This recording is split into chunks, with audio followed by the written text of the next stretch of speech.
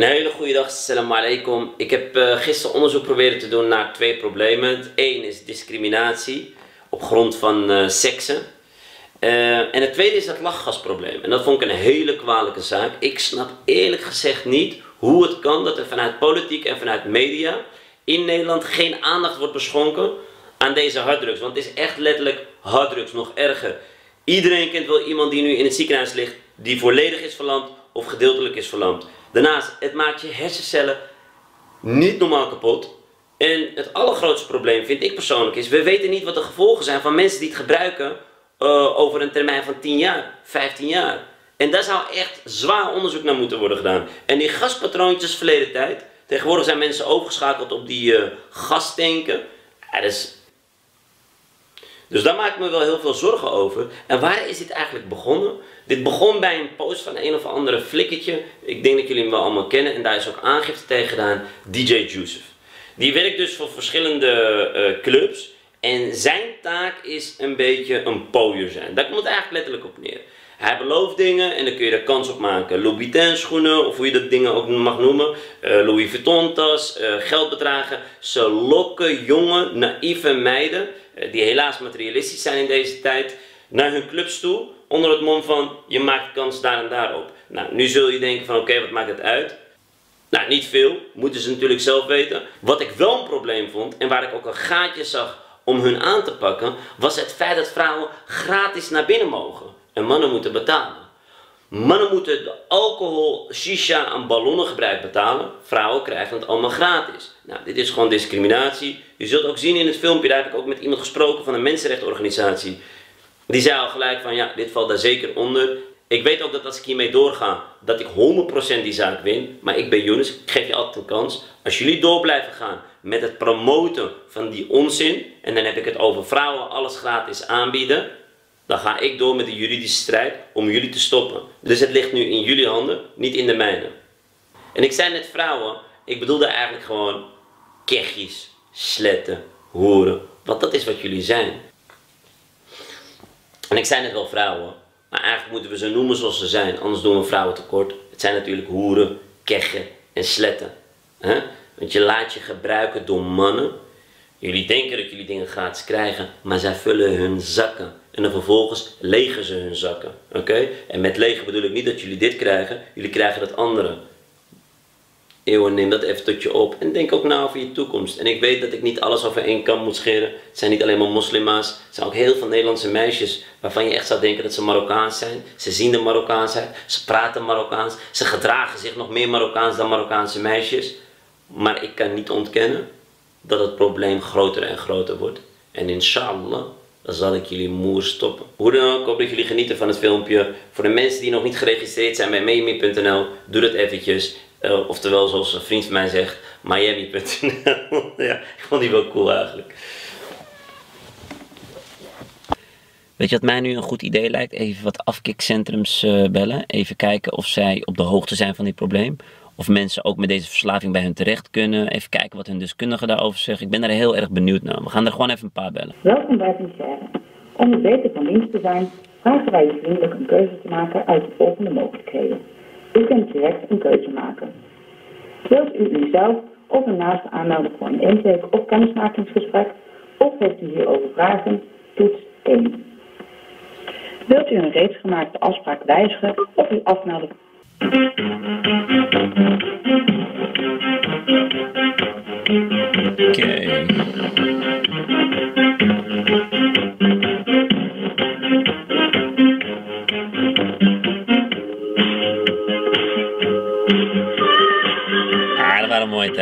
Geef ik eerlijk toe.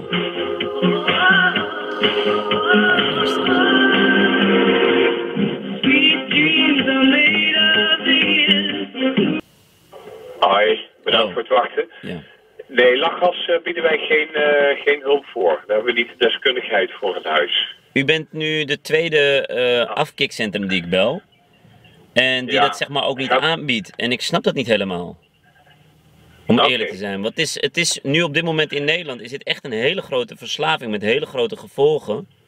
En ik snap dan Ja. niet dat er geen afkikcentrum zijn die hier zeg maar eh, over gaan. Of eh, hier. Ja. eh, Nee, eh, kan ik je geen antwoord op geven. Want het gaat om jouzelf of iemand die je kent? Nee, nee, dit gaat echt om een hele grote groep eh, mensen in Nederland. Echt vrienden, Oh, eh, familie, echt. Het is een, een probleem dat nu echt. Ik, ik, Hmm. ik, ik snap eerlijk gezegd niet dat het nog steeds niet zeg maar verboden is. Ik zie nu mensen. Vroeger had je van die kleine patroontjes. En dan zag je iedereen in de auto met ballonnen. En tegenwoordig zie je gewoon echt letterlijk die tanks. Ze hebben echt van die lachgastanken. Je zou denken, die gaan gewoon. eh, die, gaan, ja, die gaan naar de Atlantische Oceaan voor drie maanden onder water. Dat is echt niet normaal. Ja. Oké. Nou, maar goed. Goede tip. Eh, we kunnen het hier het teamoverleg een keer eh, naar voren gooien. Van lachgas, dat schijnt een nieuwe, ja, een nieuw maatschappelijk probleem te kunnen worden. Ik weet ook niet van geen enkel organisatie die daarin gespecialiseerd zijn of daar nu mee bezig zijn. Nee, kijk, wel wat ik me wel kan voorstellen is als je bijvoorbeeld kijkt bij Yes We Can Clinics. Die werken veel met jongeren en jeugd. En eh, dan komen dit soort dingen misschien wat meer voor. Misschien dat zij nog ideeën en tips hebben. Ja, Kun je altijd even bellen. ja maar nu denk zoals ik. je ook nu met ons doet, hè. Ja. Nou, dan ga ik dat doen. Super, dankjewel. Ja, dus Yes We Can Clinics, die, die werken ook landelijk. En nogmaals, je hebt wat doelgroep jongeren jeugd. En, en ik heb het idee dat dat soort eh, middelen zeg maar, daar wat meer voorkomen. Dus misschien dat we daar wat meer eh, al bekend mee zijn. Nou, we gaan ze bellen. Welkom bij Yes Weekend Clinics. Specialistische zorg voor jongeren met psychische problemen, verslavingen en gedragsproblemen. Goedemiddag, Yes Weekend Clinics Mediana. Ja, goedemiddag met Younes Ouali. Ik kreeg jullie nummer van een ander afkikcentrum uit Amsterdam. Eh, Ja. Dat ging om het volgende. Het probleem lachgasballonnen. Bij veel afkikcentrums, zeg maar, ja, centra, niet eh, bekend. En jullie schijnen daar wel een beetje bekend mee te zijn, klopt dat? Oeh, dat durf ik zo niet te zeggen. Mag ik u met een eh, deskundige doorverbinden? Ja, graag. En u bent een professional of? ja, ik ben, ja, ik ben professioneel of zoiets. Ja. Oké, één moment alstublieft. Professioneel in provoceren. Bloed onder mensen de nagels vandaan halen. Goedemiddag, Yes Weekend Clinics met Mandy. Yes, goeiedag met Younes Ouali. Hallo. Dag. Hallo, ik zou terug worden gebeld door een deskundige en ik ben wel teruggebeld, alleen ik was in gesprek, dus ik kon de telefoon helaas niet opnemen. Oké, en uw naam was Yunus Somali? Ja, zoiets, ja. Oké, en eh, u zou teruggebeld worden door een case manager in verband dat u informatie wilde? Dan weet ik een beetje met wie ik u mag Nee, doorverbinden. met een eh, deskundige op het gebied van lachgas. deskundige. Oké, momentje. Dankjewel. Goedemiddag, Jesse Ken, je spreekt met Rob. Hey Rob, met Younes. Ik had een, eh, een vraagje. Ik ben de hele dag al een beetje bezig om eh, in te lezen en te verdiepen in het lachgasprobleem in Nederland. En ik heb verschillende afkikklinieks gebeld. En jullie zijn een beetje de enige die daar volgens mij een beetje op de hoogte van zijn, lijkt het. Oké, en wat maakt dat je daar eh, naar aan het zoeken bent? Eh, ik hoor heel veel problemen, maar ik zie ook heel veel problemen om me heen van jongeren die echt heel erg verslaafd zijn geworden aan lachgas. Eh, heel veel gevallen ook die helaas in het ziekenhuis zijn terechtgekomen met verlamde been, verlamde onderlichaam. Sommige jongens zijn helemaal verlamd. Het is een heel groot probleem dat blijkbaar op de een of andere manier niet zeg maar landelijk bekend is, lijkt het. Oké. En wat, wat kunnen wij eh, voor je doen? Nou ja, op ja ik, ik had verwacht, of tenminste gehoopt, dat jullie daar een bepaalde beeld bij hadden. Of een expertise of eh, informatie waar ik wat, misschien wat aan heb. Mhm, mhm. Oké. En dat is dan voor, voor, eh, voor onderzoek voor een, een, een, een opdracht van school of zo? Of waar, waar, wat, Nee, wat is ik- de aanleiding daarvan? Zeg maar, eh, wat ik echt heel graag zou willen, en dat, daar ga ik ook eh, al mijn kracht eh, toe bundelen, is ervoor zorgen dat Ja. dit een, een, een verboden middel wordt in Nederland. Het, is, het hoort eigenlijk gewoon onder de verdovende middelen te, te, te, te vallen, als je het mij vraagt. En ik vind het eigenlijk raar dat er vanuit de Tweede Kamer of vanuit politiek of ook vanuit de media nog heel weinig is bericht over dit probleem. En ik weet wat het allemaal doet met jongeren. Ik zie het ook allemaal gebeuren. Alleen ja, ik ben een beetje gefrustreerd en ik sta daar een beetje in mijn eentje om me heen. Daar komt het eigenlijk op neer. Ja, ja, ja. Ja. Kijk, en, we hebben in, bij ons in de kliniek, zeg maar, we werken met jongeren met gedragsproblemen, met psychische klachten en, en met verslavingsproblematiek. En eh, we maken het ook bij ons wel mee dat we jongeren hebben die met eh, eh, problematiek zitten rondom verslaving en ook specifieke lachgas zitten. Ehm, maar we hebben daar verder niet echt specifiek iets, iets van onderzoek over of zo of wat dan ook. Dus ik kan daarin helaas ook weinig informatie extra geven. Ja. Ehm, eh, los van wat je waarschijnlijk al veel aan, aan, aan berichten leest op, op internet. Ja. Ehm, kijk, ik ben zelf ook wat dat betreft wel heel erg begaan. Dus ik vind het mooi dat je je voor dat doel wil inzetten.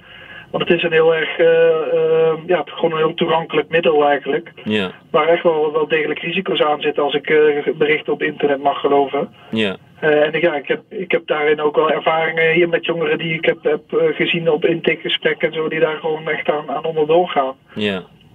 Oké. Ja. En, en er is Maar- vanuit, zeg maar, vanuit wetenschappelijk of vanuit medisch wereld is er nog eh, weinig bekend of zo bedoelt u? Of wordt er weinig energie in gestopt? Want de gevolgen, die, die, die kennen wij in principe. Ik bedoel, het veroorzaakt verlammingen, je hersencellen gaan er echt eh, door naar de kloten. En dan is het toch een beetje raar dat iedereen er stil over is. Ja, absoluut. Dat is zeker. Dat is zeker. En, en kijk, het enige wat, wat wij doen is, is behandeling bieden voor jongeren met versla onder andere verslavingsproblematiek.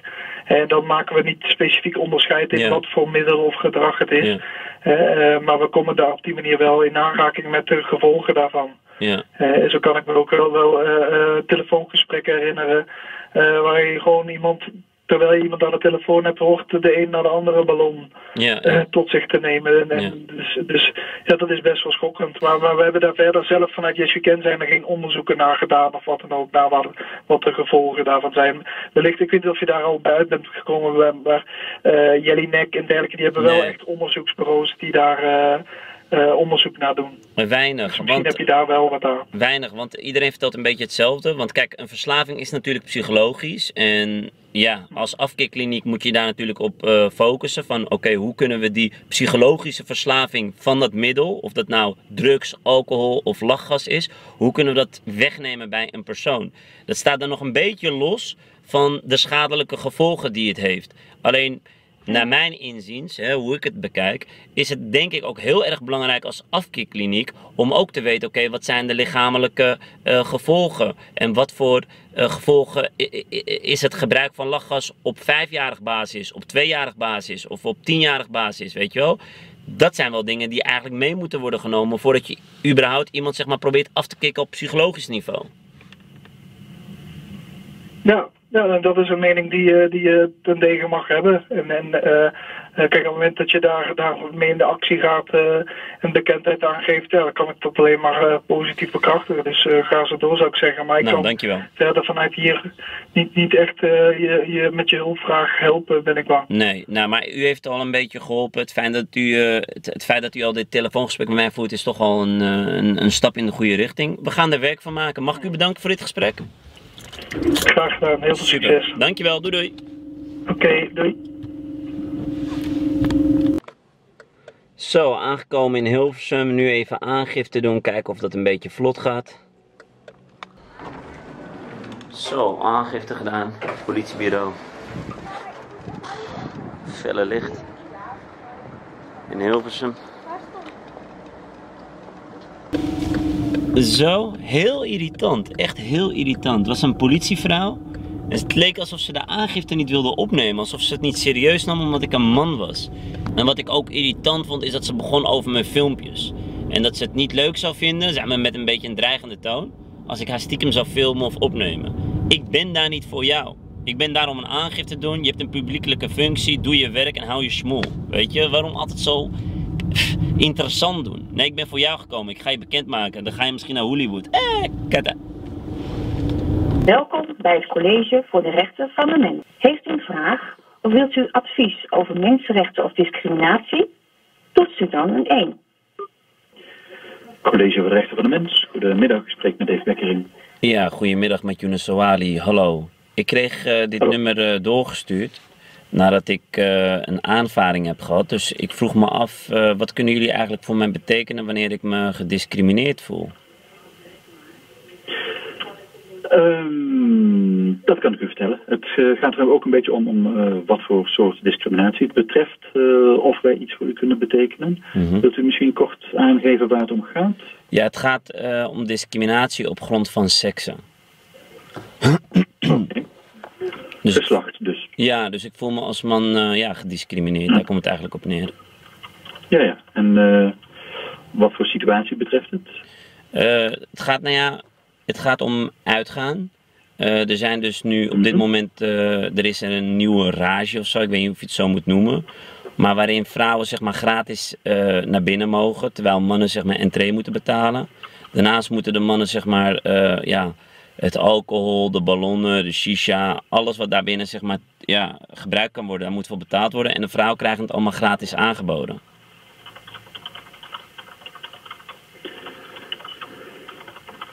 Ja, nou dat is inderdaad een zaak die, eh, die u eh, bij ons kunt, kunt voorleggen. Ik zal u aangeven wat, er, eh, wat wij voor u kunnen betekenen. Ehm, het college is een organisatie die onder andere eh, oordelen kan vellen in individuele discriminatiezaken. Ja, Ja, dat is precies, precies waar u het over heeft. De, de situatie waar u het over heeft valt ook onder eh, de gelijke behandelingswetgeving. ja, De, eh, er is al eerder door het eh, college en door de voorganger van het college, de commissie gelijke behandeling, over dergelijke situaties geoordeeld. Ehm, ik kan natuurlijk nooit bij voorbaat aangeven of eh, eh, het college in dit geval zal oordelen dat sprake is van discriminatie, maar u zou deze zaak eh, aan ons kunnen voorleggen. U kunt een, een klachtenprocedure starten en het college eh, deze kwestie laten onderzoeken. oké. En hoe En dan, dat is een procedure, die kunt u eh, digitaal opstarten op onze website.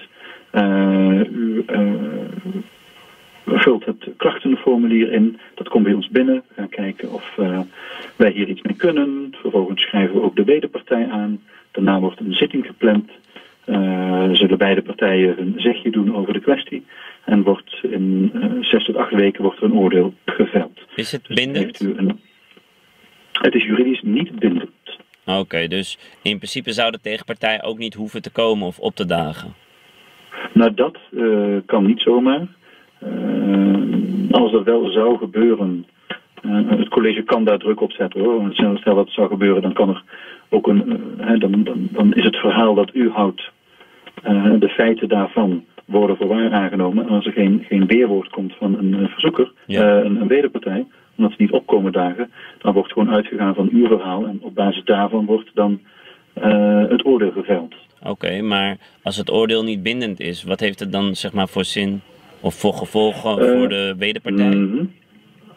Op zich, dat, dat ligt eraan. Dat ligt inderdaad ook aan de houding van de wederpartij. Het is natuurlijk wel een gezaghebbend oordeel. Eh, het college eh, stelt dat in uh, grofweg driekwart van de gevallen van de oordelen de wederpartij het oordeel erkent en er ook naar handelt. Ja, Eh, maar goed, dat is nog geen garantie uiteraard. En Als u een garantie wilt, kunt u natuurlijk eh, ook gewoon eh, naar de rechter stappen op Ja. grond van dezelfde gelijke behandelingswetgeving. En daarmee iets, eh, iets proberen af te dwingen. dus eh, wat eigenlijk een, een handige, nou ja, dus in principe zou ik het zeg maar bij jullie moeten opstarten. Nou, dan is dat in elk geval gedaan. Het is dan niet zeg maar bindend, maar kan ik daarna dan alsnog naar de rechter en kan dan die oordeel van jullie Zeker. dan in mijn voordeel werken bij de rechter?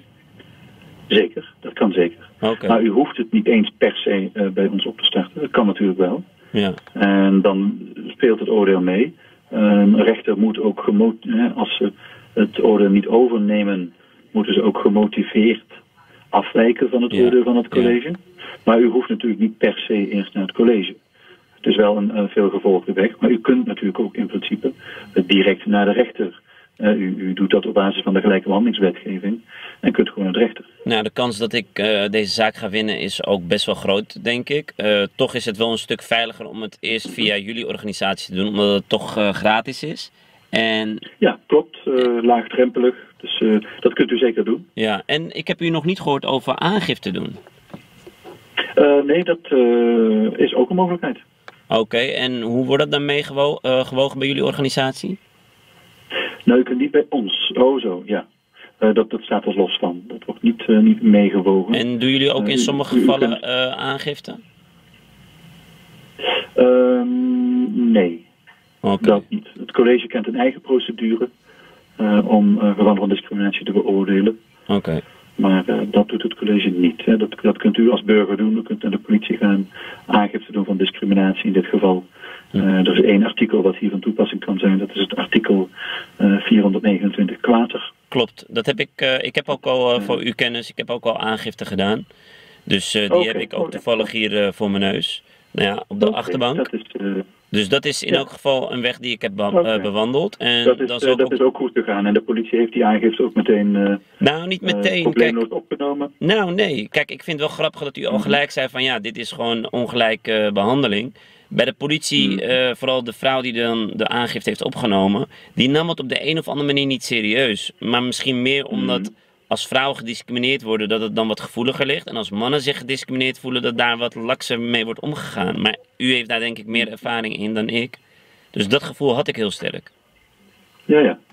Nou ja, eh, het college, voor het college is dat eh, eh, geen issue. Hè. Als een man zich gediscrimineerd voelt op grond van geslacht, ja, dat, Hmm. daar hebben wij ook regelmatig zaken over. En daar zijn regelmatig oordelen over uitgesproken. Oké. Dus, Nou, ik wil u, dus, ik wil u bedanken voor dit gesprek. Dan ga ik het eh, gelijk eh, via internet even opstarten. prima. We zijn onderweg naar een parkeerplaats. Als het goed is, is die eh, promotor van, van die clubs daar.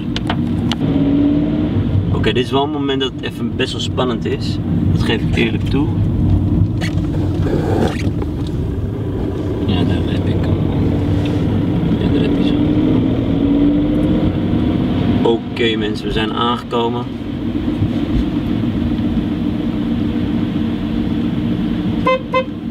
Ja, ik ga hem hier parkeren, moet even een stukje lopen. Maar wat is eigenlijk jouw doel hiervan? Want jij hebt al aangifte gedaan, heb ik begrepen? Ja.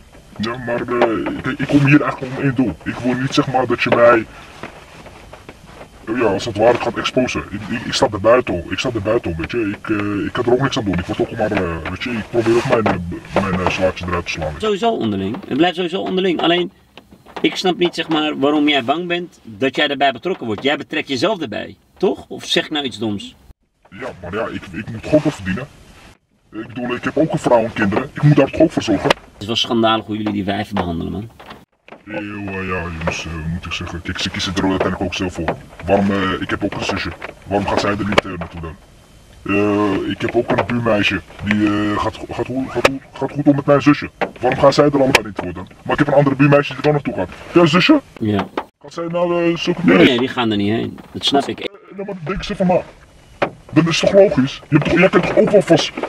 Kijk, eerlijk is eerlijk, maar je weet zelf, het, het zijn gewoon hoeren. Klaar. Het zijn gewoon hoeren. Het zijn gewoon hoeren. Je hebt, je hebt, een vrouw die achter de raam staat, eh, die vraagt er geld voor, die komt er openlijk voor uit. En dit is via een omweg. Zij, komen, zij gaan zelf naar een club toe en ze krijgen een aanbod.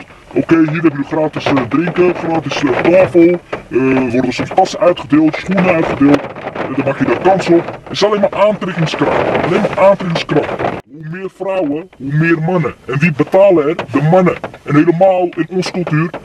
Wij geven veel uit om de club. Een paar duizenden euro's op een dag, avondje gaat makkelijk doorheen. Per persoon makkelijk. Maar waarom zou je die vrouw ook niet laten betalen? Omdat zij, ze, ze kan niet betalen.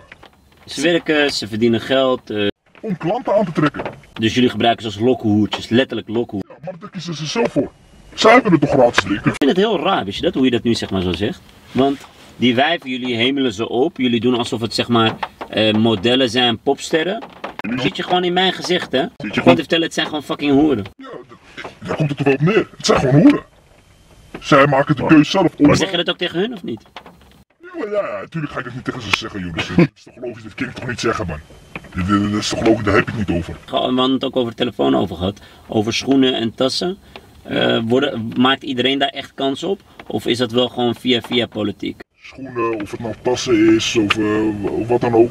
Eh, Er wordt natuurlijk promotie van tevoren gemaakt. Wij krijgen de opdracht, oké, van, de, ja, van de mensen die boven ons zitten. Jullie moeten, dit, promoten, promoten wij dat. Ik haal mijn slaatje eruit, ik sla mijn slaatje eruit. Vervolgens eh, ko- komt die eh, vrouw daar naartoe, die, die, die, vriendinnen. En uiteindelijk zijn het meestal de vaste vriendinnen. Je ziet ook toch vaak in de clubs. Als je, als je in de club gaat, ga je af en toe uit? Nee. Maar wat ik wil zeggen is af en toe in de club zie je elke keer, dus elke keer dezelfde vrouwen die komen daar. Elke keer dezelfde groepje vriendinnen. Waarom? Dat zijn meestal de vaste vriendinnen die daar komen. En die, die, die, die, die, die, die, die hebben al een soort van voorrangspositie daar. Omdat ze, die, eh, omdat ze die eigenaar kennen, of omdat ze mij kennen, of omdat ze andere mensen die er dichtbij zitten, dicht bij de bron zitten kennen. En dan krijgen ze eh, eh, als beloning, los van het feit dat ze dan gratis mogen drinken, een tafeltje krijgen, wat dan gauw, je weet, een paar duizend euro kan kosten maken ze dan meer kans op zo'n eh, op zo'n schoen eh, of op zo'n klas, eh, wat dan wat wordt prijsgegeven. Ja, wat heb je aan een willekeurig meisje die daar één keer komt? Die helemaal aan de andere kant van het land komt. Die komt maar één keer. En de volgende week, volgende week is, is het er niet meer.